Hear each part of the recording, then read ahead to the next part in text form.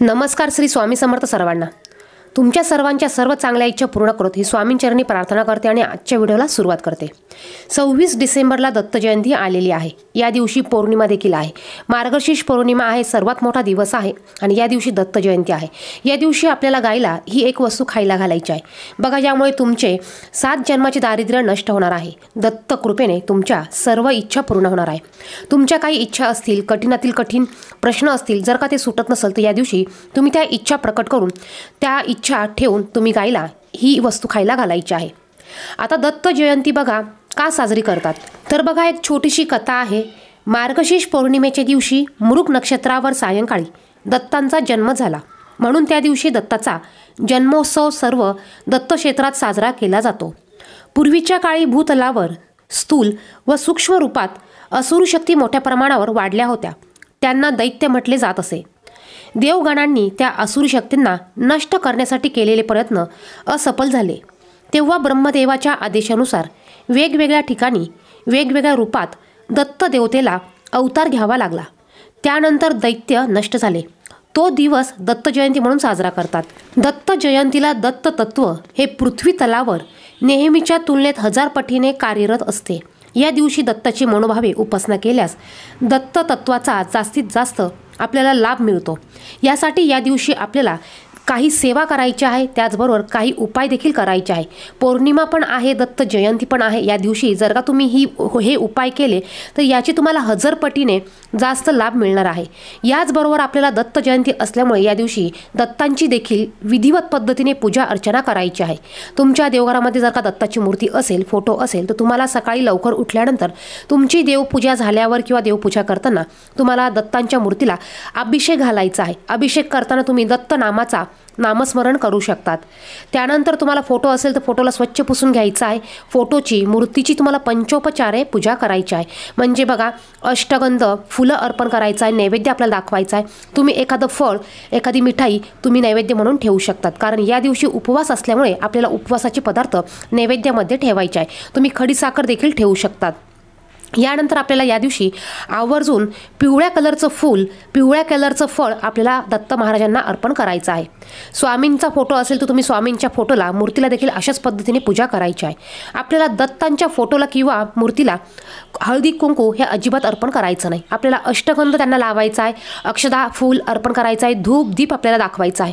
यानंतर तुम्हाला ज्याही काही सेवा करता येईल त्या सेवा तुम्ही दिवसभरात करायच्या आहे. दत्त जयंती कशी साजरी करायची कोणत्या सेवा करायच्या याबद्दल याबद्दलचा व्हिडिओ आपल्या चॅनेलवर आहे तो व्हिडिओ देखील तुम्ही पाहू शकतात. तर बघा आपल्याला या पद्धतीने दत्तांची पूजा करायची आहे. त्यांचे कृपा आशीर्वाद प्राप्त करून घेण्यासाठी आपल्याला होईल तेवढी सेवा होईल तेवढी त्यांची उपासना या दिवशी करायची आहे. आणि याच दिवशी आपल्याला गायला ही एक वस्तू खायला घालायची आहे. आता आपल्याला गायला ही वस्तू कधी खायला घालायची? तर बघा दिवसभरात तुम्ही कधीही ही वस्तू गायला खायला घालू शकतात. यासाठी बघा तुम्हाला आठ केळी घ्यायची आहे. आठ केळी आठ केळीवर तुम्हाला आठ गुळाचे खडे घ्यायचे आहे. तुम्ही एक मोठं ताट घेऊ शकतात.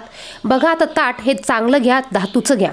यामध्ये तुम्हाला ही आठ केळी ठेवायची आहे. यावर तुम्हाला आठ गुळाचे खडे ठेवायचे आहे. हे ताट घेऊन तुम्हाला तुमच्या देवघरामध्ये बसायचं आहे. देवासमोर दिवा प्रज्वलित करायचा आहे. जर का तुम्ही दत्त महाराजांची पूजा वेगळी मांडली असेल तर तुम्हाला तिथे दिवा प्रज्वलित करायचा आहे. तुपाचा दिवा तुम्ही प्रज्वलित करू शकतात. यामध्ये तुम्ही तुपाची वात मोठी लांब वात घालू शकतात. तूप नसेल तर तेलाचा दिवा तुम्ही लावू शकतात. तुम्हाला दिवा प्रज्वलित करून त्यानंतर तुम्हाला हे आठ केळी तुम्हाला देवापुढे ठेवायचे आहे. किंवा तुम्ही दत्त महाराजांच्या मूर्तीसमोर देखील ठेवू शकतात. यानंतर तुम्हाला दत्त महाराजांना मनोमन प्रार्थना करायची आहे. तुमची जी काही इच्छा असेल काही गोष्टी तुमच्या अडलेल्या असतील त्या इच्छा अडलेल्या गोष्टी तुम्हाला दत्त महाराजांना सांगायच्या आणि त्या पूर्ण होऊ दे असं तुम्हाला त्यांना सांगायचं आहे. यानंतर बघा आपल्याला एक तांब्याभर पाणी घ्यायचं आहे. त्यानंतर आपल्याला हळदी कुंकू घ्यायचं आहे. आणि आपल्याला आपल्या जिथेही आपल्या इथे गाय असेल तिथे जायचं आहे. मग तुम्ही गोठ्यात जा गो शाळेत जा किंवा तुमच्या इथे फिरतीवर गाई असतील तर तिथे गेला तरी चालेल. गाईच्या पायावर आपल्याला पाणी घालायचं आहे. गाईला आपल्याला हळदी कुंकू लावायचं आहे. हळदी कुंकू गाईच्या पायावर आपल्याला शक्य झाल्यास टाकायचं आहे. आणि गाईला आपल्याला ही जी केळी आहे या केळीमधली चार केळी घेऊन यायची आहे. चार केळी आपल्याला आपल्या देवघरात ठेवायची आहे आणि चार केळी आपल्याला गाईला खायला आणायची आहे. राहिलेली चार केळी आपण आपल्या घरामध्ये प्रसाद म्हणून खायची आहे. अगोदर आपल्याला गाईला हे खायला घालायचं त्यानंतर आपण ती केळी प्रसाद म्हणून खायची आहे.